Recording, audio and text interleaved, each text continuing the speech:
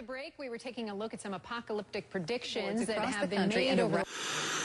is Judgment Day. A Christian religious Saturday Saturday. is keeps trying to no send a limits message from aliens now, and the reception destroyed the earth. It's been a big 1954.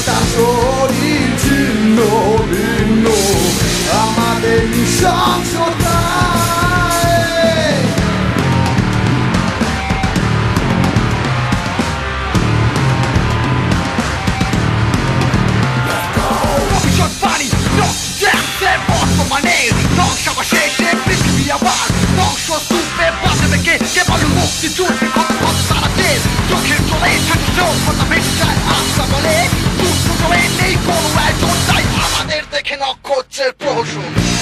সমাজ তোর অত্যাচারে ধ্বংসের পথে স্বেচ্ছাচারে আনন্দিতের কিছু মানুষের হাতে তাই আমার একটা কালো রক্তে লাগে।